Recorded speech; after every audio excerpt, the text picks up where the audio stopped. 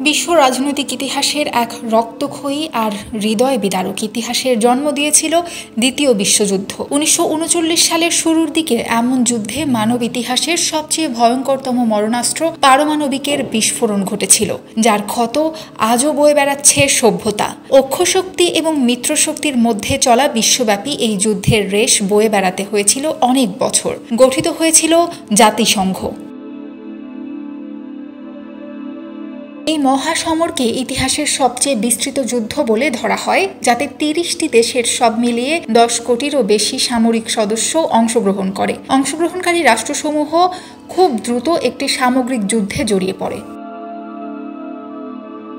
বেসামরিক জনগণের উপর চালানো নির্বিচার গণহত্যা পৃথিবীর ইতিহাসে একমাত্র পারমাণবিক অস্ত্রের প্রয়োগ। প্রভৃতি ঘটনায় কুখ্যাত এই যুদ্ধে প্রায় পাঁচ কোটি থেকে সাড়ে আট কোটি মানুষ মৃত্যুবরণ করে। এসব পরিসংখ্যান এটাই প্রমাণ করে যে এটাই পৃথিবীর ইতিহাসে নৃশংসতম যুদ্ধ। কেন হয়েছিল এমন যুদ্ধ? কি সে কারণ? উনিশশো উনচল্লিশ থেকে উনিশশো একচল্লিশ পর্যন্ত এক নাগারে বেশ কয়েকটি যুদ্ধ অভিযান পরিচালনা আর চুক্তি সম্পাদনার মাধ্যমে জার্মানি ইতালির সাথে একটি মিত্রজোট গঠন করে। ইউরোপ মহাদেশের অধিকাংশ অঞ্চল নিজের দখলে বা নিয়ন্ত্রণে আনতে সমর্থ হয়। জার্মানি আর সোভিয়েত ইউনিয়ন তাদের দখলকৃত পোল্যান্ড, ফিনল্যান্ড ও বাল্টিক রাষ্ট্রসমূহ নিজেদের মধ্যে ভাগাভাগি করে নেয়। এই সময় শুধু যুক্তরাজ্য এবং অন্যান্য ব্রিটিশ কমনওয়েলথভুক্ত দেশসমূহ অক্ষশক্তির বিরুদ্ধে লড়াই করে যাচ্ছিল। উনিশশো একচল্লিশ সালের জুন মাসে ইউরোপীয় অক্ষশক্তি সোভিয়েত ইউনিয়ন আক্রমণ করে, যার ফলশ্রুতিতে সমর ইতিহাসের সর্বাপেক্ষা বৃহৎ রণাঙ্গনের অবতারণা ঘটে। এই আক্রমণ অক্ষশক্তির সামরিক বাহিনীর একটা বড় অংশকে মূল যুদ্ধ থেকে আলাদা করে রাখে। উনিশশো একচল্লিশ সালের ডিসেম্বরে জাপান অক্ষশক্তিতে যোগদান করে এবং প্রশান্ত মহাসাগরে অবস্থিত যুক্তরাষ্ট্রের পার্ল হারবার আক্রমণ ও ইউরোপীয় উপনিবেশগুলো আক্রমণ করে অত্যন্ত দ্রুততার সাথে পশ্চিম প্রশান্ত মহাসাগর সাগরের অধিকাংশ অঞ্চল জয় করতে সক্ষম হয়। উনিশশো একচল্লিশ সালের সাত ডিসেম্বর যুক্তরাষ্ট্র মিত্র শক্তির সাথে যোগ দেয়। মূলত জার্মানি এবং জাপান দুই অক্ষ শক্তি যুক্তরাষ্ট্রে আক্রমণ করার মাধ্যমে এই যুদ্ধ ডেকে আনে। অপরদিকে চীনের সাথে জাপানের ছিল পুরাতন শত্রুতা। উনিশশো সালের মাঝামাঝি সময় থেকেই এই দুই দেশের মধ্যে দ্বিতীয় চীন জাপান যুদ্ধ চলছিল।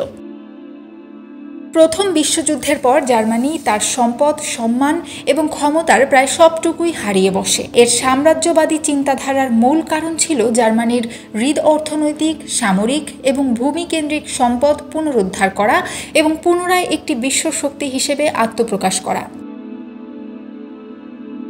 যুদ্ধের মূল কারণ ছিল মিত্রশক্তির একপক্ষ চুক্তি। মিত্রশক্তির এই একপক্ষ চুক্তি জার্মানিরা মেনে নিতে পারেনি। তারা ভাবে যে তাদের সাথে পক্ষপাতিত্ব করা হয়েছে। তাই তাদের মনে একটা ক্ষোভ সৃষ্টি হয়। উনিশশো উনচল্লিশ সালের এক সেপ্টেম্বর পোল্যান্ড অভিযান শুরু হলো। তিন সেপ্টেম্বর মিত্রবাহিনী জার্মানির বিরুদ্ধে যুদ্ধ ঘোষণা করল এবং শুরু হলো দ্বিতীয় বিশ্বযুদ্ধ। প্রথম দিনই জার্মান ঝটিকা বাহিনী পোল্যান্ডকে ছিন্ন বিচ্ছিন্ন করে দিল। ফরাসি ও ব্রিটিশ বাহিনী সাহায্য করবারও সুযোগ পেল না। জার্মানি ও মিত্রপক্ষের মধ্যে যুদ্ধ চলাকালীন সময় সোভিয়েত ইউনিয়ন ফিনল্যান্ড আক্রমণ করে শীতকালীন যুদ্ধের সূচনা করে। উনিশশো উনচল্লিশ সালের তিরিশ নভেম্বর সোভিয়েত ইউনিয়ন ফিনল্যান্ড আক্রমণ করে। ফিনদের লোকবল খুবই কম হলেও তাদের দেশ রক্ষার ইচ্ছা ছিল প্রবল।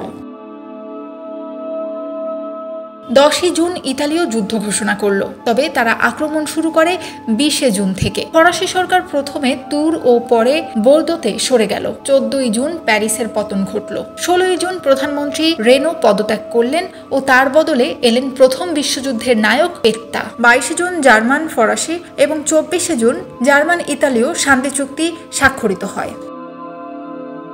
উনিশশো চল্লিশের জুন মাসের শুরুতে ইতালিয়ানরা মাল্টায় তাদের বিমান বাহিনী যোগে আক্রমণ করে এবং ব্রিটিশ উপনিবেশটিকে ঘেরাও করে। সে বছরেই গ্রীষ্মের শেষ দিকে বসন্তের শুরুর সময়ের ভেতর ইতালিয়ানরা ব্রিটিশ সোমালিল্যান্ড দখল করে নেয় এবং স্থলপথে ব্রিটিশ অধিকৃত মিশরে হামলা চালায়। উনিশশো পঁয়তাল্লিশ সালের দুই সেপ্টেম্বর জাপান সাম্রাজ্যের সশস্ত্র বাহিনী মিত্র বাহিনীর কাছে আত্মসমর্পণ করলে এশিয়াতে দ্বিতীয় বিশ্বযুদ্ধের সমাপ্তি ঘটে। আত্মসমর্পণের ঘটনাটি ইউরোপে অক্ষ বাহিনীর আত্মসমর্পণের প্রায় চার মাস পরে ঘটে এবং এর মাধ্যমে দ্বিতীয় বিশ্বযুদ্ধের সমাপ্তি ঘটে।